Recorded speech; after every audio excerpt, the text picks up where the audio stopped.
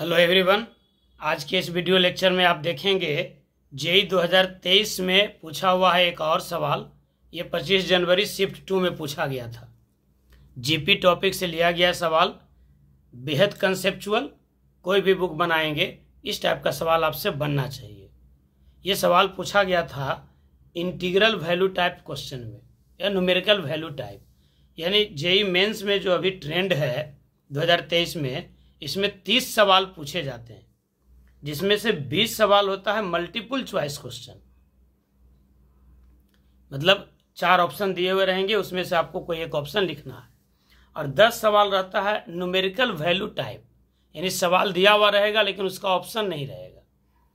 जो वैल्यू होगा numerical value उसका आंसर आपको लिखना है। तो उसी टाइप के सवाल में ये 25 जनवरी को शिफ्ट टू में पूछा गया था।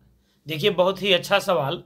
क्वेश्चन है for the two positive numbers A and B if A B one by eighteen are in G P while one by A ten one by B are in A P then sixteen A plus twelve B is equals to what देखिए इस सवाल में दो variable है और दो condition दिया हुआ है तो सिंपल सा बात हो गया कि सवाल कैलकुलेशन का हो गया। जितना वेरिएबल उतना कंडीशन मिले तो सवाल बहुत आसान हो जाता है। चाहे आप उसको कैलकुलेट करने में जो टाइम लगाइए, लेकिन सवाल ये बेहद आसान हो जाता है। यहाँ पर आपको दो कंडीशन दिया हुआ है। पहला कंडीशन है कि ए बी और वन बाई एटीन ये जीपी में है। और दूसरा है वन बाई ए टेन और वन बाई बी एपी में है। इन दोनों कंडीशन से आपको सवाल को बना लेना है। तो चलिए पहला कंडीशन लगाते हैं हम लोग। पहला कंडीशन क्या है? पहला कंडीशन है कि ए बी और वन बाई एटीन ये जीपी में है जीपी में है। तो आप जानते हैं कि अगर ए बी सी जीपी में हो तो बी का स्क्वायर बराबर होता है ए गुना सी इधर हम लिख देते हैं वो बात। अगर ए बी सी जीपी में है तो आपको जानना चाहिए कि B square is equals to होता है ए इंटू सी यानी बीच वाले का स्क्वायर तो यहाँ बीच वाला का स्क्वायर क्या हो जाएगा? B square is equals to होगा।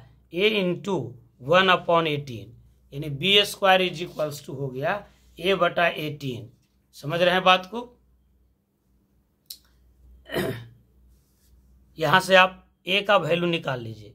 तो ए का वैल्यू हो जाएगा आपका एटीन बी स्क्वायर इसको हम लोग यूज़ करेंगे आगे। ए का वैल्यू हो गया एटीन बी स्क्वायर अब दूसरा कंडीशन को लेके चलते हैं। दूसरा कंडीशन क्या है? कि वन अपॉन ए टेन और वन अपॉन बी, ये ए पी में है। वन अपॉन ए, टेन और one upon B, are in A P ये ए पी में है। तो ए पी का कंडीशन क्या होता है?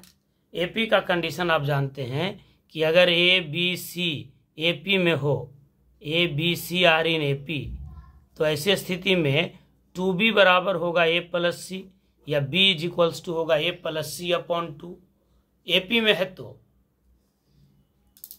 तो यहाँ आप लिख सकते हैं बी का डबल यानी बीच वाले का डबल तो दस का डबल हो जाएगा बीस, बराबर one upon A plus one upon B और इसको फर्दर एक्सपेंड कर लेते हैं तो ट्वेंटी इज़ इक्वल्स टू होगा A B L C M तो यहाँ मिल जाएगा बी प्लस ए या इसको लिख सकते हैं ए प्लस बी यानी आप और इसको आगे बढ़ाइए तो A plus B is equals to हो जाएगा twenty A B A plus B is equals to twenty A B अब इस ए के जगह पर आप रख दीजिए eighteen B square A plus B is equals to हो गया ट्वेंटी ए बी तो ए के जगह पर हो गया आपका eighteen B square plus B is equals to twenty A के जगह पर eighteen B square I into B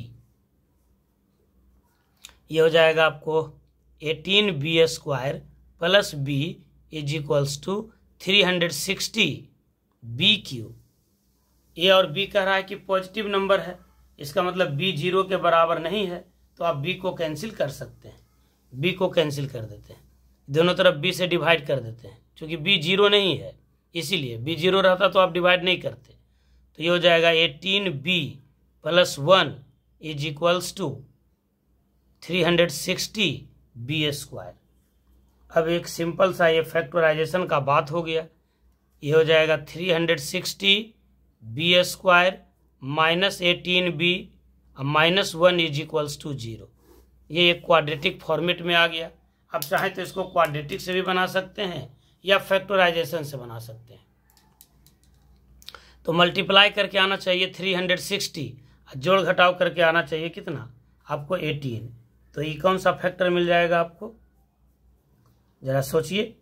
गुना कर करके आना चाहिए थ्री हंड्रेड सिक्सटी जोड़ घटाव कर करके आना चाहिए। एटीन। तो थर्टी और ट्वेल्व को कर लीजिए बारह तिहाई छत्तीस, तीन सौ साठ हो जाएगा। अब बड़ा वाला साइन हो जाएगा नेगेटिव तीस वाला। तो इसको आप लिख सकते हैं three sixty B square minus thirty B plus twelve B minus one is equals to zero अब यहाँ पर देखिए थर्टी बी कॉमन आ जाएगा। तो ये हो जाएगा ट्वेल्व बी माइनस वन अब प्लस वन कॉमन हो गया। तो twelve B minus one is equals to zero अब twelve B minus one as a whole factor है। इधर हो जाएगा thirty B plus one is equals to zero अब दो फैक्टर का प्रोडक्ट ज़ीरो है तो कोई ना कोई ज़ीरो होगा। तो बारी बारी से ज़ीरो करेंगे। इसको ज़ीरो करेंगे।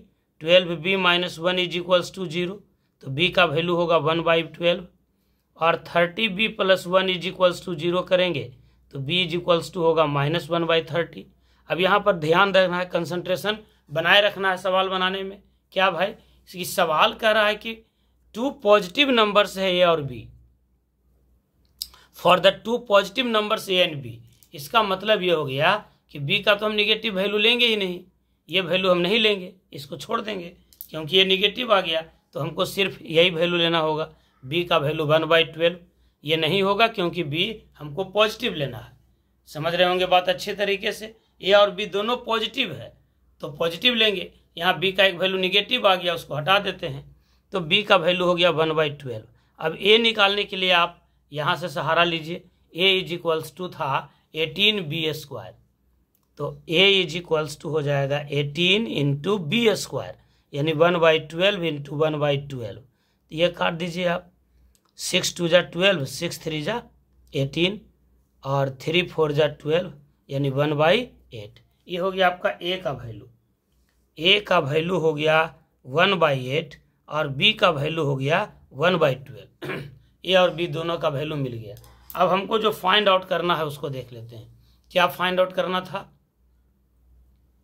यह देखिए sixteen A plus twelve B यही हमको फाइंड करना था। तो sixteen A therefore sixteen A plus twelve B is equals to sixteen into A यानी one by eight plus twelve into B यानी वन बाई ट्वेल्व ये कट जाएगा। Eight two जा सिक्सटीन तो टू वन जा टू अब plus one यानी कितना आ गया? थ्री यही आपका आंसर है। थ्री इस टाइप का सवाल, पूरे तीस सवाल में से आपको लगभग बारह तेरह सवाल आपको इलेवन ट्वेल्व के सिलेबस से ऐसा पकड़ा जाएगा, जो सिर्फ़ और सिर्फ़ बेसिक कंसेप्ट की जिसमें आवश्यकता होगी।